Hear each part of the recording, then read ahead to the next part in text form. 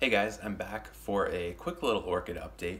I won't take up too much of your time, but I have a really awesome orchid that finally just bloomed.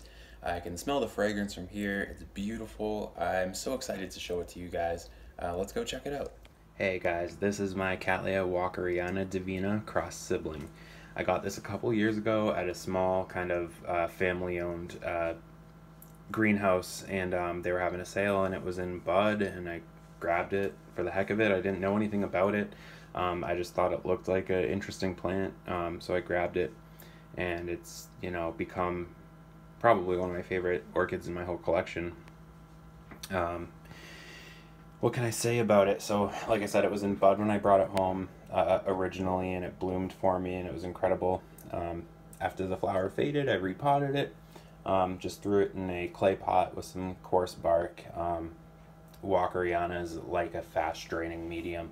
Um, they actually grow on kind of like barren, rocky, kind of like cliff faces and outcroppings and stuff in the wild sometimes. Um, so that's why they have such a need for like really intense bright light. Um, it was in bud when I bought it, like I said, um, but the second year I had it, I did not manage to rebloom it. This is the growth that came in and uh, you can see the difference. Um, I had it in a south facing window, which was not enough light for it. This growth came in um, kind of like um, extended and it didn't grow straight upright like you know a healthy looking um, cattleya leaf typically should when they're you know well lit um, so that growth didn't bloom for me um, because it just was not getting the light that it needed um, but I have since uh, gotten this awesome setup with some um, LED panels. Um, so the next growth after that, I did manage to rebloom, and here it is. Um, I only got one flower on it, but it's huge, um, you know, considering the plant itself is kind of small. So I don't mind, but I, you know, can't wait to maybe get multiple leads on it in the future and, you know, get a nice big bloom display. Um, let's talk about the uh, color in the ID for a second.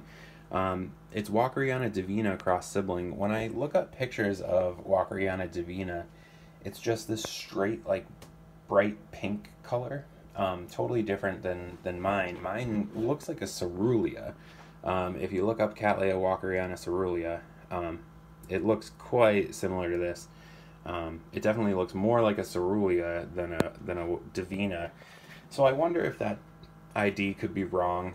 Um, maybe it's not. Maybe the sibling cross the sibling cross brought out a different kind of color form on it. So um, anything's possible, I guess. But um, it's a very kind of pale blue lavender color, which is awesome because um, coeruleas are really cool. I actually don't have many coeruleas. Um, this one here is supposed to have um, some coerulea in it, so I was hoping for um, some coerulea out of that one, but um, yeah, just such a gorgeous flower.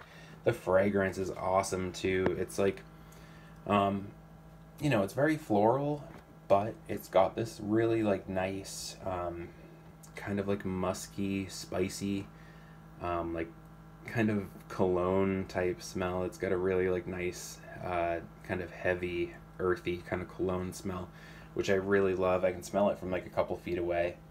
Um, I just love it. One interesting thing about Walkerianas too, um, Walkerianas are known to actually, um, some of them bloom from their rhizome instead of from the top of the growth.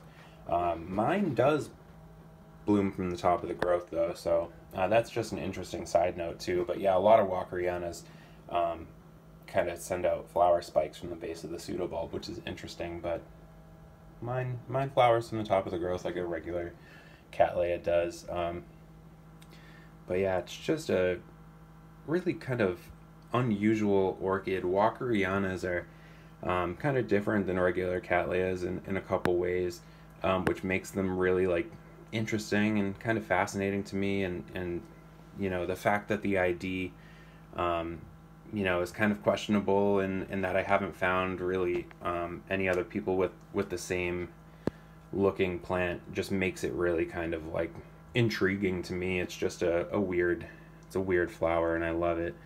Um, yeah, I think that's all I really had to say about it. The blooms don't last all that long, um, so I wanted to just jump on here and do a quick little impromptu video before um, before the flower fades. I was really hoping to kind of do like a better researched, um, more kind of like culture oriented um, type video, but that would have taken more time to prepare and you know I didn't want the bloom to fade in the meantime so I wanted to just jump on here and document it for you guys but um, I'd like to maybe um, continue talking about Walkerianas because they're a pretty cool um, orchid and I don't see a lot of people talking about them and they're pretty fascinating so if you know anything about Walkerianas um, if you have an idea of what the ID might be for this plant um, I'd love for you to leave it down below in a comment um, yeah, and if you have any questions or anything like that as well, I'd love to hear them.